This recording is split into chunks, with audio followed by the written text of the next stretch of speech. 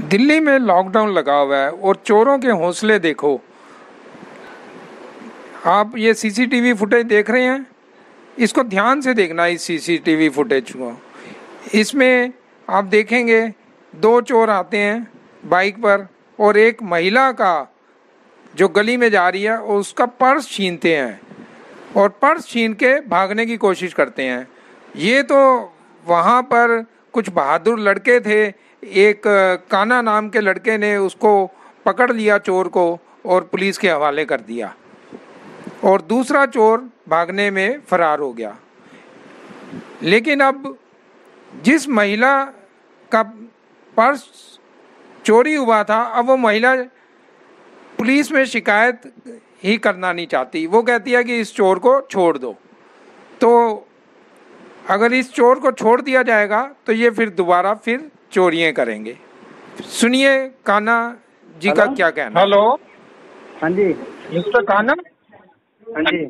मैं Sach news twenty four seven से professor Ashok Arora बोल रहा हूँ।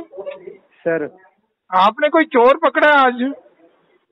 पकड़ा वो भाई साहब के साथ ही खड़ा हूँ ये जो हमारे स्टाफ थे दिल्ली पुलिस के।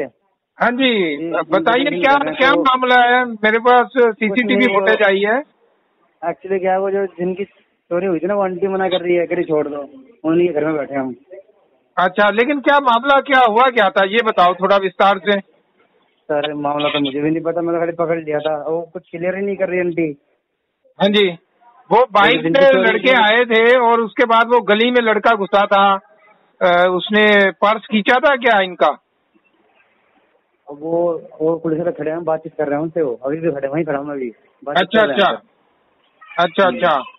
तो कितने चोर पकड़े आपने? एक को पकड़ा एक था ना आपने? हाँ एक तो पकड़ा था। तो दूसरा भी मिल गया जो बाइक पे भाग गया था? नहीं नहीं उसको नंबर प्लेट गलती नहीं बोला। उसका अभी नहीं पता लगा। तो अब ये मैडम जो क्या कह रही है कि छोड़ दो उनको। हाँ जी छोड़ दो। अच्छा इनका पर्स मिल गया इनको वापस? हाँ जी हाँ जी हाँ जी। अच्छा अच्छा। ठीक है को, कोई और जानकारी हो तो मुझे बताना आप। ठीक है ठीक है ठीक है। Thank you.